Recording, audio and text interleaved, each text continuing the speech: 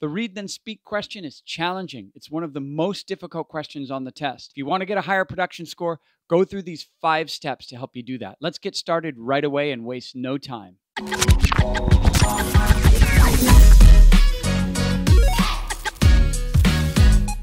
Step one is pretty easy. We're going to use the question to help us structure the answer. And I call this I would like to talk about.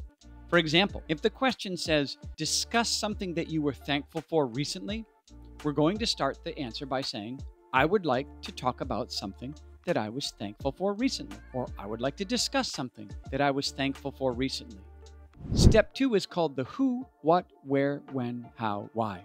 Step number three is called use the core ideas. If you're not familiar with core ideas, check out this video here and it will give you a breakdown of how you can use basic ideas of life and apply them to almost every type of question that shows up.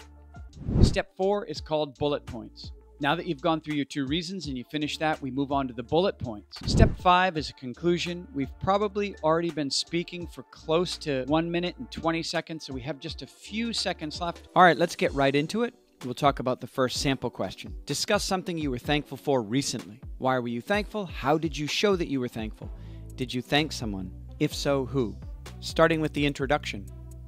I'd like to talk about something that I was grateful for recently, which was Thanksgiving Day. That's your first sentence. Step number two the key questions the who, what, where, when, how, why. In the USA, this takes place every November on the third Thursday, marking the beginning of the Christmas holiday.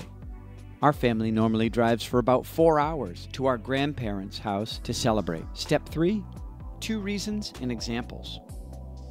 First of all, Thanksgiving is a time of year that all of our relatives come together. We don't have much of a chance during the rest of the year to reunite and all be in the same room, so it's special. My grandparents, my aunts, and uncles, and my cousins all gather and catch up on each other's lives. There's nothing like the warm atmosphere at that time. Additionally, Thanksgiving is a time for us to enjoy some pretty amazing food. We share turkey, stuffing, sweet potatoes, green bean casserole, salad, cranberry sauce, and so many other dishes. Step number four the bullet point points. I showed that I was thankful by helping to clean up afterwards. After the big feast, mountains of dishes and pots and pans were in the kitchen to clean and scrub. My brothers and I lent a hand and made sure that my grandparents could just take a rest. I was also certain to sincerely thank my grandmother personally because she and grandpa were the ones responsible for the turkey, which turned out perfect. Step five is our conclusion. Ultimately, Thanksgiving Day is something that I've always been grateful for. Thanks everybody for tuning in. I hope these five steps helped you for the Read Then Speak question.